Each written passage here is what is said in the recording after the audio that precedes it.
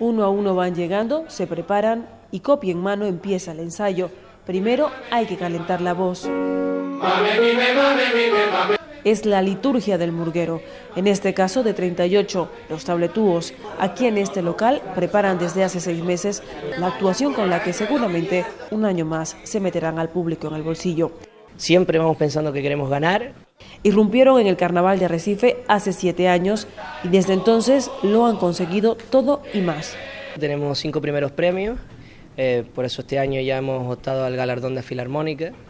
El gran reconocimiento a todo el trabajo y la dedicación que año tras año han dedicado al carnaval de Arrecife.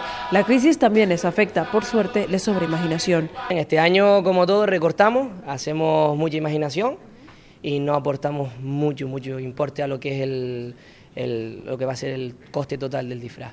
Cada ensayo es un derroche de alegría, disciplina y talento. Este año vienen más críticos que nunca, prometen sorprender, así que es mejor que Dios nos coja confesados.